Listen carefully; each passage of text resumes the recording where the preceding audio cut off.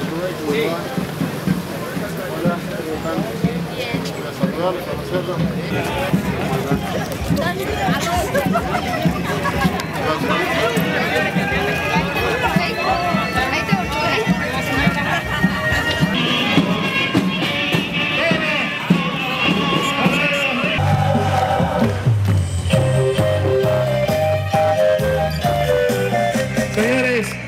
Aquí están los dirigentes barriales.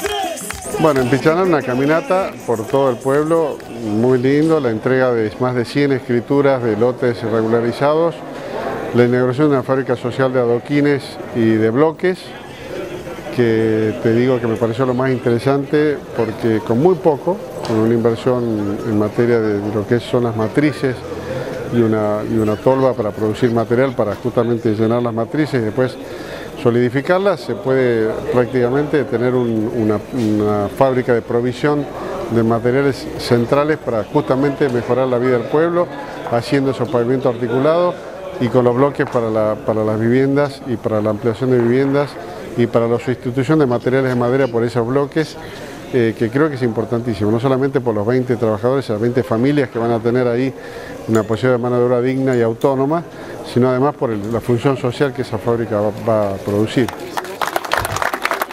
Finalizado el corte de cinta, seguidamente se va a realizar el descubrimiento de placa y...